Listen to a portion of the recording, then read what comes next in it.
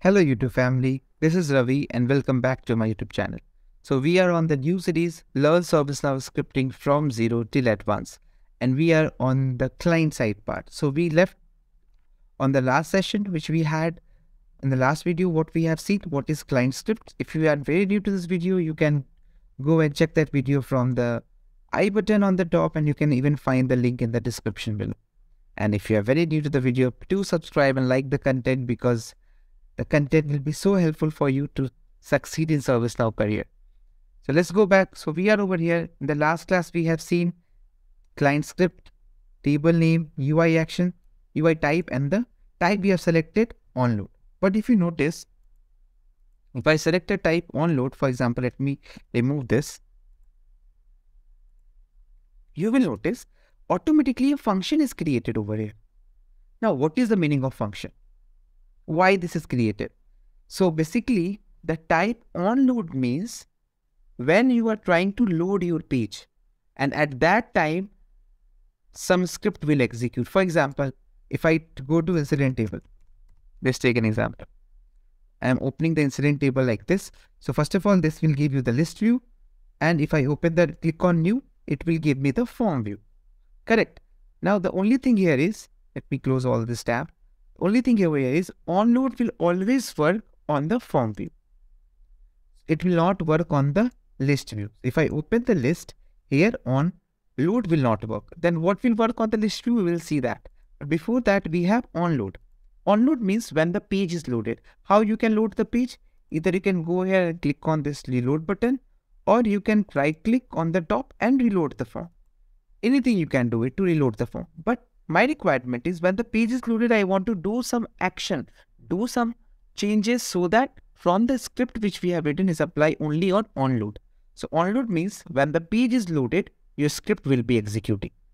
So what script will be executing? Your client side. And how to write a script in client side? You have to write something between these functions. And what is this function? Function onload. Basically function means we have chunks of code, chunk of statements together in a single capsule. So let me explain another way. For example, let me go here and let's assume we have a class 10th, for example. And inside the class 10th, we have sections. Section A, section B, section C. So inside this class 10th, Section A, Section B, Section C syllabus will be same. The student will be studying the same syllabus whether they are on Section A, Section B or Section C. It means that these three are inside a packet, inside a capsule of class 10th. So class 10th is a function and inside the function we have chunks of code. So function is a function contains chunks of statement, chunks of code. And what code it will have? There the that is called your client side code, which we will be writing right now and the onload means when the page is loaded. So you have to remember this function onload means we have a chunk of code inside the loop and inside the function we have client side code. So whatever we write over here, whatever we write, whatever we write, that will come under this function.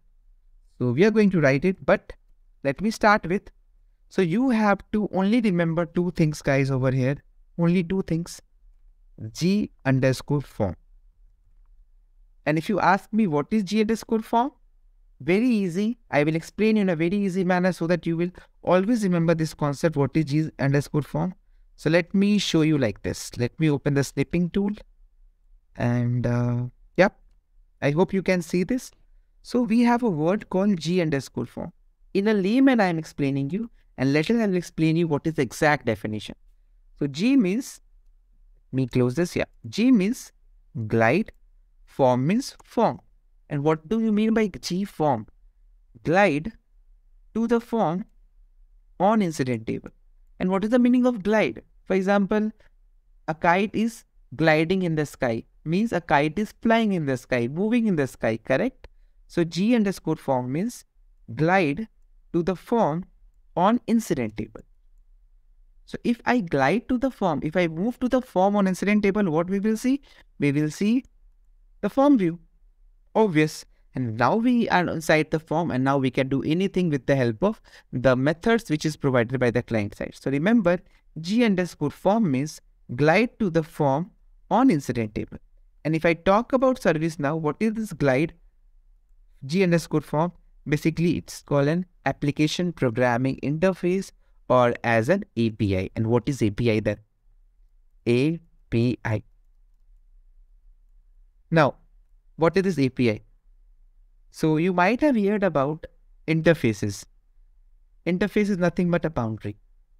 Let's say we are I am talking currently and you are listening to me. So what is the boundary between us? YouTube. Without YouTube, will you be able to listen to me? No. So YouTube here act as an interface where my voice is converted from my side and you are able to my voice is transmitted to your end and you are able to listen to that voice like your application uh, let's say whatsapp. In whatsapp what we have? We have an interface okay where we have whatsapp. We have your interface and we we will type a message and it will it will go to the my our friend or our colleague or our family correct? So this is called interface. Without whatsapp interface can be able to send this message? No. Like in your uh, laptop you have your firewall. Those all are interfaces antivirus interfaces that will protect you from the virus attack. Similarly this g underscore form act as a bridge or act as a wall or act as a can say interface which allow you to go to the table incident. Without this interface you cannot go to the table incident. Once you don't go to the table incident then you will not be able to execute your code that's what g underscore form means. Once you type g underscore form, you can press a dot button. And whatever the box is appearing in front of you, this box is called intelligence or IntelliSense. So it will give you that box. Inside the box, you have list of things available. I will talk about that. So you have to press dot and you will get all the methods available over here and you have to choose according to your requirement. Which method you wanted to, you can choose according to it. So I hope you understand what is G underscore form. Now, if you want to learn more about G underscore form, see it, it's become a hyperlink. If I zoom and I show you, let me zoom the screen. Now come down, see it become a black hyperlink. So what you have to do is press a control button from your keyboard and click. It will take you to the ServiceNow developer page. See, you, where you can learn about glide form. What is this glide form? API. G form, glide form. And what we do from the client side, we can do beautification, we can do modification, we can do we can make any field read only, mandatory and visible with the help of client side. So whatever we can do on the client side, we can use the word called G underscore form. So client side is basically used for the customization of the form. Customization can be you can provide a alert box on the top, you can provide a confirm box on the top. You can provide a, a mandatory, read-only, visible on the form. That's all we are going to see. So let's start with very simple underscore form dot. First we'll see add. Just you type add, you have lot of options. Now let's see third option, add info message. Now what is this info message? Let me show you. If you see here, blue line is coming up on the top. Same blue line will be appear on your table. Which table? Obviously, we have selected incident form. So on the form view of our incident table, it will display me. Now, if you notice over here, add info message, the message should be in the form of a string. And what is a string? Whatever you we put in the double quotes or single quotes is treated as a string. For example, Ravi. If I type Ravi, Ravi in the quotes is called a string. But if I type 123 is called a value. Similarly, if I type 123 inside this double quote, this has become a string. So just go back here. I will write g form dot add message, and here write here I'll type hi. This is my first client script. Very simple. So save it. Now you can save the form from this floppy disk button over here, kind of a floppy disk or right click and save any of the way you can save it. So this part, let's see how it works. So when the page will load, on the incident table, on the form view, then this message will appear. So let's go back and check. I am reloading the page and you will notice I will be receiving a blue line with a box called hi this is my first client and you can see this is called add info message. So whenever you see a message box on the top with a blue strip, this is called your info message. But if you see a red strip, that is called an error message. Very simple. Just do the same stuff. G underscore form dot add error message. Simple. Same thing. Hi. I am error. Save it and go back and refresh the page, you will get two boxes, two strips, blue and red. Hi, I am error and hi, I am first client script. So you can notice if you see error message, it will show you in red and if you see info message, it will show you on the blue line. So this is called G underscore form. And you can do lot of things from G underscore form. So let me create our first scenario based question on the client side on onload. So the first question is, let me write it down for you let me create the question. So the question is, when the page is loaded, I want to make some field as, let's say description field as mandatory, and I want alert box on the top. So how to fulfill this? For example, as a end user, when I load the incident fair I should see description field as mandatory and alert box with welcome message. Now, what is alert box? We have not talked about it, but definitely we are going to talk in this particular scenario. This is our first scenario and I will be putting this scenario in our in my description box where you can copy the scenario you can use for your interview practice. So let's go back. Let me remove this. So obviously we are going to select onload, table incident done. And in the description, you can mention your what you are going to do as a best practice. So always remember you have to mention something on the description so that people will understand what your code is doing. So you can copy the same thing and paste it over here. You can paste it, yeah. Now, not, you can put paste in the message also, your wish. Here I am going to type, when the page is loaded, I want a alert box. So remember guys, to get alert box, there is a command called alert. Once you type alert, inside the alert, you have to type the message in the form of a string. So here, you have to type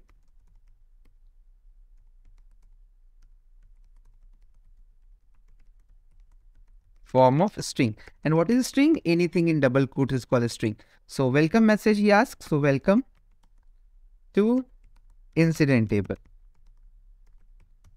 And I am 110% sure guys, you you have seen alert box somewhere in your career for sure. And how this alert box look like? A pop-up will be displayed.